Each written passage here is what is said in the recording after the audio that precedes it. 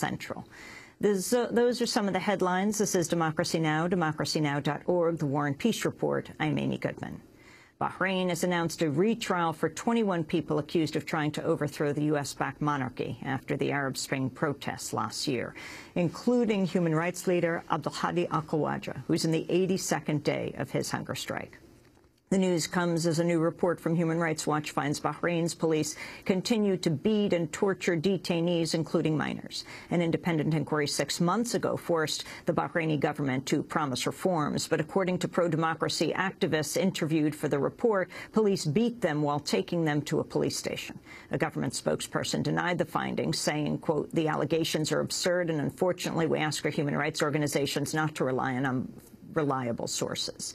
Human rights leader Abdulhadi al-Khawaja was arrested last April during a government crackdown on protests by the country's Shia majority that has been demanding greater rights for its, from its Sunni rulers. He's been refusing food since February 8th to protest the life sentence he received in June for allegedly plotting against the state. Bahrain said today al-Khawaja is one of the political activists who will be given a retrial, this time in a civilian court rather than a military court as before. Al-Khawaja's daughter, Zainab Al-Khawaja, also a pro-democracy activist, was arrested last week for protesting her father's imprisonment and is reportedly still detained. In the past year, Bahraini security forces have killed dozens of demonstrators. Hundreds more have been arrested or fired from their jobs. The island nation is a key strategic ally of the United States in the Middle East, home to the U.S. Navy's Fifth Fleet. For more, we're joined by Al-Khawaja's daughter, Maryam, via Democracy Now! audio stream from Beirut, Lebanon, where she's attending a conference organized by the Gulf Center for Human Rights. And in Washington, D.C., we're joined by Joe Stork, Deputy Director of Human Rights Watch's Middle East Division, who was last in Bahrain in March 2011, now banned by the government from returning. We welcome you both to Democracy Now! Let's go directly to Beirut. Maryam, can you tell us your reaction to the latest news? The Bahraini government has announced it will will retry 21 protesters, including your father, who was sentenced to life last year and is in the 82nd day of his hunger strike. Thank you. Well, I think there are first several issues at hand. Uh, first of all, it's not a retrial, but an appeal. It's going back to the appeals court, and so not a retrial. Uh, the second question has to be what evidence are they relying on? I mean, if they're taking someone back to court, it must mean that they have some kind of evidence. And as far as we know, the only evidence they had in the in the trial that they did in the military court was confessions that were taken under torture. Um, I think that this is just buying time from the Bahraini government. We've seen this before, where if there's enough international pressure, they'll, uh, you know, send the case back to court and then try to buy as much time as possible, as they did with the medics, until the international community, to some extent, loses, uh, you know, loses interest in following up with the case. And I think that's what we're seeing here. These are people that should have never been arrested or imprisoned to begin with, and they should have been released, not uh, being taken to an appeals court. Maryam, what has happened to your sister Zainab, who we have frequently spoken to on Democracy Now!, who is protesting your father's imprisonment? She is now in jail?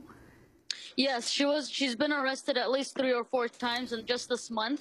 Uh, she was arrested three times when she went to the hospital where my father was being kept, uh, trying to see him uh, when his health deteriorated and she was arrested on, at those times. And then she was arrested again in front of the financial harbor where she sat in the middle of the highway, um, you know, in protest of his continued arrest and his uh, deteriorating health.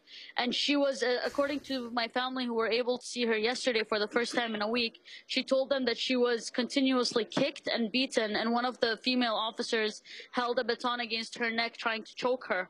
Um, and now she's being charged with assaulting an officer. She was also protesting the Grand Prix being held in Bahrain at this time.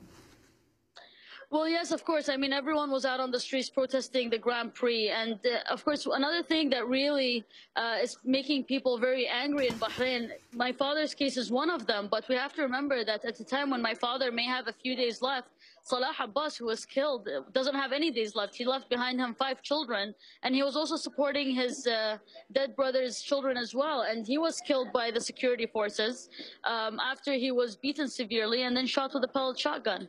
Explain when that happened. That happened on the first day of racing for the Formula One. He was found on the uh, roof of one of the uh, houses in uh, a farm and the people who were with him had been found the night before. Uh, many of them had fractures in either their legs or their arms. When he was found and doctors were able to look at his body, they informed me that he had fractures in his neck. He had hits, blows to the head, uh, to the skull, which they think was caused by a gun. Um, and he had, of course, uh, many, many uh, injuries from uh, pellets. Back to your father, Maryam, um, Abdelhadi al-Khawaja, who is in the 82nd day of his hunger strike. We're getting conflicting reports of him being force-fed, the government denying this. Can you tell us about his health, his physical condition now? Well, I mean, he stopped drinking water. That was last week on Thursday. Um, so a week, not this Thursday, but the one before it. And uh, we we knew that he was going to go into critical condition very, very soon, uh, if not a coma. And so when he went missing for several days, we were very worried about what that meant. Um, when my family was finally able to see him yesterday, he informed my mother that he had been drugged, tied to the bed, and then uh, force-fed by, they had put a tube down his nose into his stomach. Now, of course, this is dangerous on many levels. Uh, first of all, my father told my mother that he considered this torture given that he was force-fed and uh, made uh, or put in solitary confinement. But then also the fact that they're force feeding him, this could cause health complications as infections and other things, which could further deteriorate his health. Um, so this is very, very problematic. And of course, my father said that he holds the doctor, the hospital, and the Minister of Interior responsible for this force feeding. We're also joined by a close friend of uh, uh, Abdul Hadi Al Khawaja. Um, that is Joe Stork. He's Deputy Director of Human Rights Watch's Middle East Division.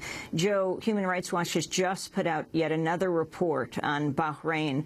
Um, talk about what you have found. Well, one of the big issues in Bahrain uh, for many years now has been torture. We've documented torture over the last several years on several occasions, including uh, torture that uh, that people complained about during the crackdown last year. The, the uh, Commission report that you referred to documented torture specifically in the case of Ab Abdul Hadi Khawaja. The government has made a big show of saying, okay, this has been a problem. We're going to turn the page on this. It's not going to happen anymore. One of the commission's recommendations was to put TV cameras, for instance, in police stations. Okay, no one would say that's a bad idea. But what they're doing is simply displacing uh, the venue of uh, changing the venue of where the torture is taking place. I mean, we documented numerous cases where people, young people, some of them children, uh, were were severely beaten, were badly beaten, threatened with rape, threatened with death, uh, in order to confess to one thing or another before they were ever taken into a police station. So clearly, the sort of instinctual response of Bahraini police and it seems officials uh, is to is to torture as a, as a, as a just a, a, a, mode of a mode of policing. Could I make just one point about the trial of Abdul and the and the other protest leaders too? I mean, it's not just a fair trial issue, although it's that. It's not just the fact that they relied on uh, confessions that were coerced. It's that too. But if you look at the trial record, which we did in a report that we published just six weeks ago, where we analyzed Abdul Hadi's trial in particular, if you read the trial verdicts, for instance, it's simply breathtaking. All the crimes, so-called crimes that are alluded to are things they said, meetings they attended, documents that were found on their computers, uh, their call for peaceful protests. They even quote the, uh, the, the leaders as calling for peaceful protests, and it's for the, these uh, crimes of speech essentially, crimes of participating in peaceful assembly. That's the basis uh, for that conviction. So I agree with Maryam completely. The the issue shouldn't be an appeal. The issue should be freedom for all these people, for all 21. You, Joe Stork, yourself have been banned from returning to Bahrain. Yes, that's right. Why? The government says that I'm not impartial, that I only report on one side of the problem. I mean, it's complete, complete nonsense. And I should point out that it's not, I've been banned, but my organization, in fact, all human rights organizations have been highly restricted in terms of getting uh, getting into Bahrain, as has uh, international media. In fact, I mean, it's a very, very unfriendly place these days for human rights groups. Joe Stork, you're an American citizen. What about the role of the United States? I mean, this is clearly an extremely important place for the United States. Works very closely with the Bahraini monarchy, the home of the Navy's Fifth Fleet. Right, right. And I think the United States government, the Obama administration, is actually quite spooked about what's going on in Bahrain. They're they're they're quite nervous. They see uh, that none of the none of the things that that they've pushed for so far, for, such as the uh, the Bassiouni Commission report and so forth. I mean, it's a good report. It has good recommendations and so forth. But the government simply hasn't used it as a platform to turn things around. And that's clearly, you know, the, the United States is interested in a, a stable partner there, and stability is certainly not on the horizon. But at the same time, the United States has, uh, I'd say, found it very difficult to raise its voice on these issues, unlike in some other countries. And I think the main reason for that is, yes, it's the it's the basing for, it's the basing for the Fifth Fleet, but it's also Saudi Arabia. Uh, the U.S. is is is very differential when it comes to uh, talking about human rights in Saudi Arabia or in a country that Saudi Arabia, as as one Saudi diplomat here diplomat here in Washington put it, he said, it's our Cuba. Don't even think about meddling. Final comment um, from Maryam in Beirut. You're at a major human rights conference taking place in Beirut, Lebanon. When do you return to Bahrain? Uh, what are you calling for for your father and for your sister Zineb? Well, of course. I mean, I haven't been back to Bahrain in over a year now, um, and uh, I don't think I don't see myself going back anytime soon either because of the situation there and because of the kind of work that I'm doing, uh, which could be very limited if I was inside Bahrain. Um, as for what are we calling for, I mean, I don't think that the spotlight should be only on my father's case and my sister's case, as there are currently, according to our estimations, around 700 political prisoners. And so what we're calling for is just the same response that the West gives to other countries. We want the same in Bahrain. When it comes to human rights violations, one person's life is not more important than the other. And so just like there have been special sessions on the other countries in the Human Rights Council, we should be able to see the same as well. And I mean, it's very unfortunate that the US and the UK and France and other countries are selling arms to Bahrain today, and to, they've become to Bahrain what Russia is to Syria. Um, and so what we would like to see is a discussion of economic sanctions uh, since the, the human rights violations are still continuing on a daily basis. I want to thank you both for being with us. Maryam Alkhawaja, uh, joining us from Beirut, uh, speaking up for her father, uh, Abdelhadi Alkhawaja, who's on the 82nd day of his hunger strike, and her sister, Zineb, who is currently in prison in Bahrain as well. And thank you to Joe Stork, Deputy Director of Human Rights Watch's Middle East Division, speaking to us from Washington, D.C. We'll link